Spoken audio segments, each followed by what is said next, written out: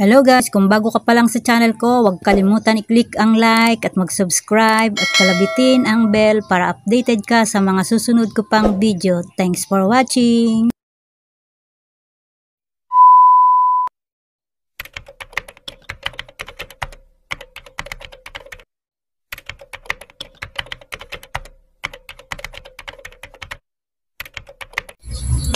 Ang kwento ng kuna ni Manit.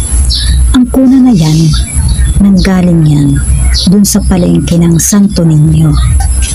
Nakita yan ng asawa ko nandun sa gilid ng paripila ng tubig na mineral. Ngayon, tinanong niya yung mga tauhan doon kung kanino ang kuna na yon. At sinabi ngang kung meron daw gustong kumuha, ibibigay na lang. At kung wala naman daw, ay itatapon na lang o ibibigay sa basurero. Sayang naman, di ba? At nung mga panahon na yun ay buntis nga itong manugang ko at itong kapatid kong si Amor. Kaya bali, ang unang gumamit ay itong aking kapatid na si Amor dahil siya yung unang nanganak. At pagkatapos nga, ito rin namang napunta na sa amin ang kuna. Kumbaga, ipinahiram muna namin dun sa kapatid ko si Amor bago talagang nagamit itong aking apo na si Manet.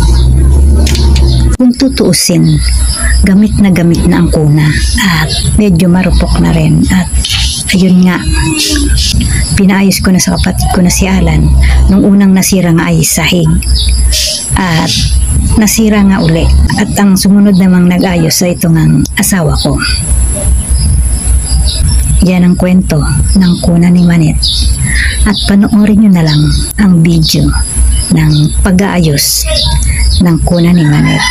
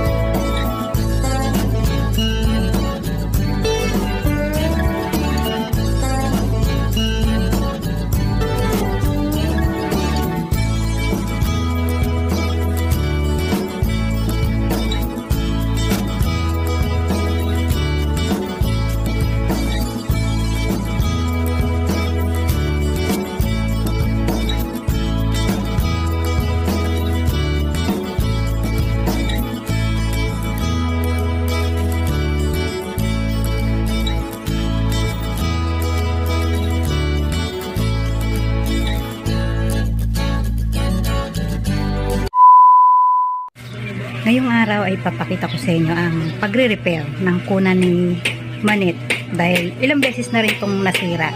Pero ngayon talaga yung grabing grabe. At inabot din siya ng tatlong araw na nasa duyan lang. Pero hindi naman talagang magapon dahil nililipat ko rin siya sa stroller o kaya kinakarga kong inilalabas siya. Pero ngayon ito nga ginagawa ng asawa ko ang kuna niya. Panoorin nyo guys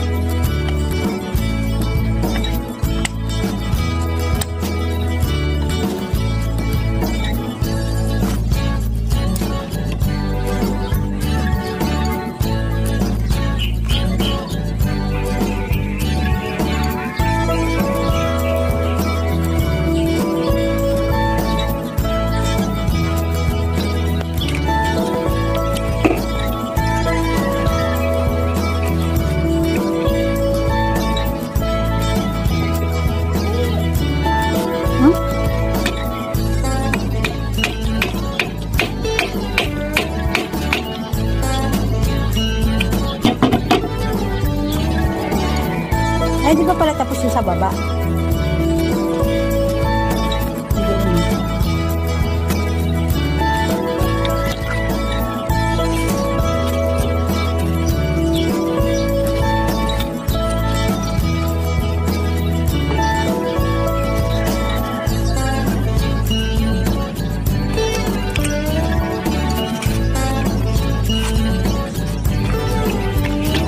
Nood ka ba?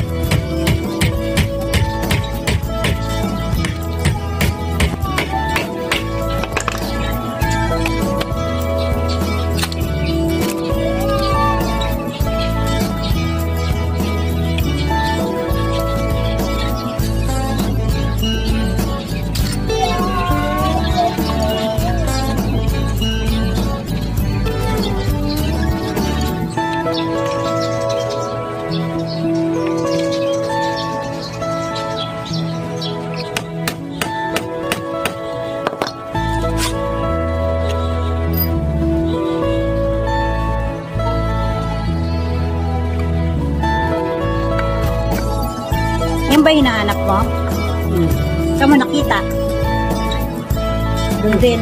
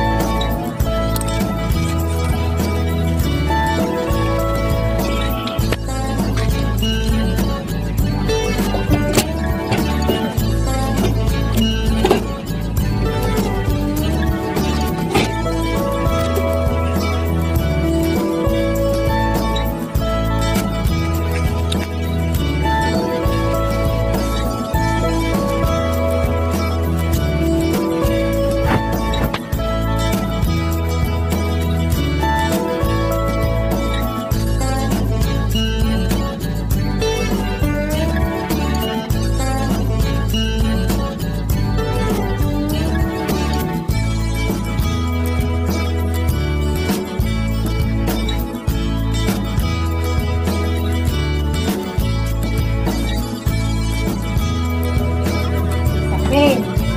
Sapin. Lalagyan ng sapin. Sapin. Sapin.